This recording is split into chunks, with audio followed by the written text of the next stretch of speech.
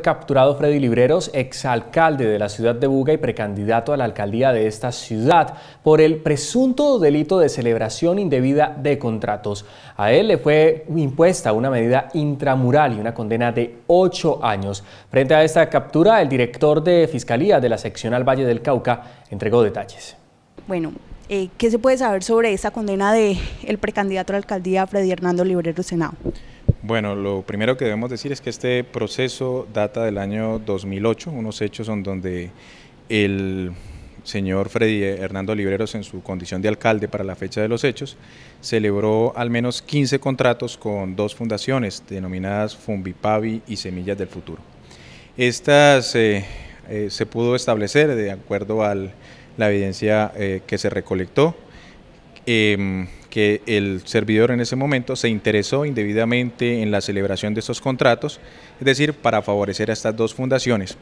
Eh, es importante establecer que sobre estos mismos hechos también fueron condenados el señor Darío Cifuentes, exconcejal del municipio de Buga, también para el periodo 2008-2012, así como los contratistas, es decir, los representantes legales de estas fundaciones. Ellos ya han sido condenados y estaba en este proceso pendiente el doctor Freddy Hernando Libreros. Es importante destacar pues que no es un tema de campaña política, sino que es un proceso que venía desde mucho antes y que se estaba pendiente de la decisión del tribunal en una apelación que hizo la Fiscalía por la absolución en primera instancia que eh, dictaminó el juez o la juez primero penal del circuito de esta ciudad y que al hoy desatarse el recurso que interpuso la Fiscalía, pues revocó esa decisión eh, y determinó condenar al señor Freddy Hernando Libreros por los hechos establecidos, es decir, porque encontró que la Fiscalía demostró, más allá de toda duda, la responsabilidad que le asistía al señor Ferdinando Libreros eh, por la conducta de interés indebido en la celebración de contratos en más de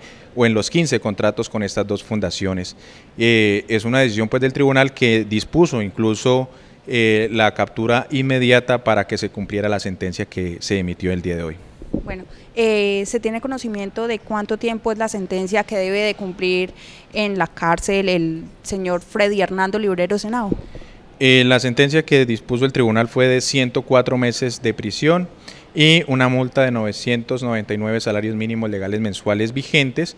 Esto pues atemperándose a las reglas propias de la del código, del código Penal y del Código Procedimiento Penal que establecen este, este tipo de penas para esta conducta que le ha sido enrostrada.